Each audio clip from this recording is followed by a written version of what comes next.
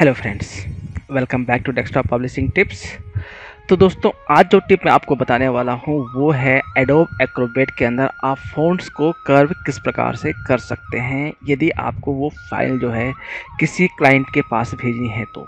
दोस्तों, क्या होता है कि हम काम करते हैं एडोब इंडिजाइन में एडोब इलस्ट्रेटर में या एडोब सॉरी कोरिडोर में तो हम हम नहीं चाहते कि उन फाइलों के अंदर जो हमारे पास फ़ॉन्ट्स हैं, उन्हें हम कर्व कर दें, कि सो दैट के बाद में यदि हमें ज़रूरत पड़ जाए उस फ़ाइल में फ़ॉन्ट्स को ठीक करने की या उन फ़ॉन्ट्स को दोबारा से यूज़ करने के फ़ाइल मॉडिफिकेशन करने की तो हम फंस जाएँ।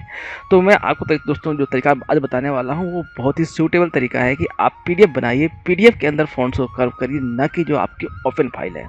तो आप उसे कैसे फ़ॉन्ट्स को कर्व में करेंगे, ये मैं आज आपको बताने वाला हूँ। तो मेरे पास ये फ़ाइल है, जैसे कि मैं इससे मैंने पहले भी यूज़ किया था ट्यूटोरियल के लिए, कि मैंने इसमें कई सारे फ़ॉन्ट रखे थे, और इस फ़ॉन्ट को मैं एडोब एक्रोबेट से कैसे एक्सट्रैक्ट किया था तो उसका तरीका मैंने आपको बताया था। आपको मेरी जो जो चैनल है, आपको वो वीडियो भी मिल जाएगी कि आप फ़ॉन्ट में से एडोब पी फ़ाइल में से फ़ॉन्ट को कैसे एक्सट्रैक्ट कर सकते हैं बट आज की वीडियो एक्सट्रैक्शन पे नहीं है, वो है कि आप फ़ॉन्ट को कर्व कैसे कर सकते हैं।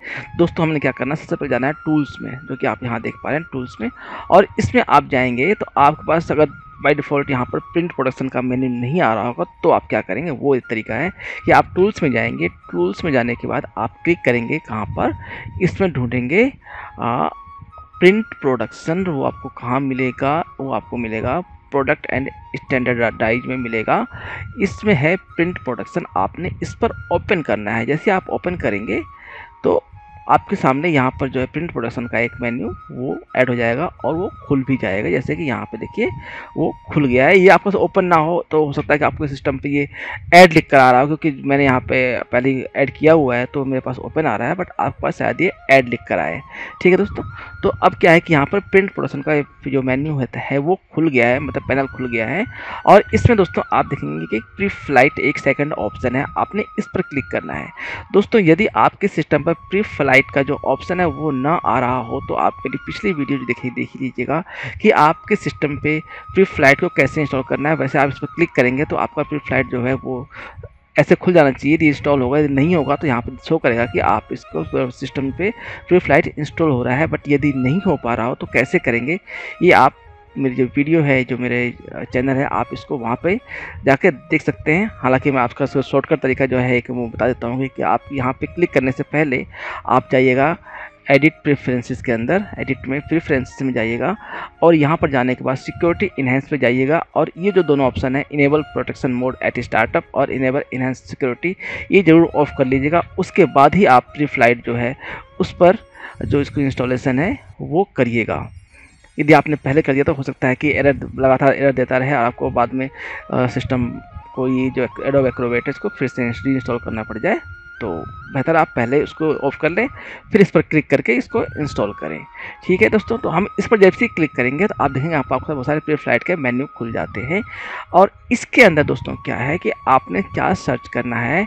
P D F fix up यानी ऑप्शन नंबर थ्री आपका सारा बंद होकर आ रहा है तो आपने पी डी एफ़ फिक्सअप में जाना है और इसमें आप देखें कन्वर्ट फॉन्ट्स टू आउटलाइन एक ऑप्शन है। आपने इस पर क्लिक करना है और क्लिक करने के बाद क्या है? फर्दर ऑप्शंस पे जाने के बाद आप यहाँ पे एनालाइज एंड फिक्स कुछ ज़्यादा इसमें दोस्तों बहुत कुछ पहाड़े नहीं पढ़ने होते। हैं बेहतर है कि हम ओपन फ़ाइल में ये सब चेंजेस करें, हम पीडीएफ बनाएँ, पीडीएफ में सब कुछ सारे को ऐड करें प्रिंट प्रोडक्शन रेडी फ़ाइल बनाएँ और इसके बाद यहाँ पे हम प्री फ़्लाइट से हमने कन्वर्ट फॉन्ट्स टू आउटलाइन कर देना है एनालाइज एंड फिक्स जैसे ही करेंगे, आप देखेंगे कि फ़ाइल को हमसे कहेगा सेव एज करो, क्योंकि ओरिजिनल फ़ाइल को ये भी नहीं छिड़ता और ओरिजिनल फ़ाइल को मैं भी नहीं चाहता कि आप अपनी फ़ाइल छिड़े, करो, करें, फिर उसके बाद उसको सेव एज पी बनाए तो फ़ायदा क्या है? अब स्ट्रेट फॉरवर्ड आप डायरेक्ट पी को एक फॉन्ट्स टू जो कर्व है, उन्हें कर्व कर दीजिए तो यहाँ मैं सेव करता हूँ फॉन्ट्स को C U R E curve किया मैंने और सेव कर दिया। अब देखिए, मेरी फ़ाइल जो कि फॉन्ट्स एंड कर्व सेव हो गई है, आप यहाँ देखिए कि फ़ाइल को मैं चेक करता हूँ। प्रॉपर्टीज़ प्रॉपर्टीज़ चेक करने के बाद देखिए फॉन्ट्स पे क्लिक करता हूँ। यहाँ पर कोई फॉन्ट नहीं है और वहीं यदि मैं पुराने वाली फ़ाइल दोबारा खोल लेता हूँ, जो कि यहाँ पर पहले मेरी बनी हुई थी ओपन रिसेंट कहाँ आ रहा है? ये फ़ाइल ओपन रिसेंट वाली और मैं इसी फॉन्ट की प्रॉपर्टी चेक करता हूँ फ़ाइल की। तो यहाँ देखिए कि इसमें यहाँ पर मेरे पास चार फॉन्ट थे। तो दोस्तों, ये एक तरीका मैंने बता दिया, आप फॉन्ट्स को कर्व कैसे कर सकते हैं बिना ओपन फ़ाइल से छिड़खानी किए हुए पीडीएफ के अंदर। तो दोस्तों, मैं उम्मीद करता हूँ कि आपको ये टिप बहुत पसंद आई होगी। तो मुझे कमेंट के माध्यम से दोस्तों ज़रूर बताइएगा आपको ये टिप कैसी लगी और उसके बाद दोस्तों, यदि आपने मेरे चैनल पर नए आए हैं, पहली बार आए हैं तो जैसे कि मैं हर बार कहता हूँ कि मेरे चैनल को सब्सक्राइब कर लीजिए।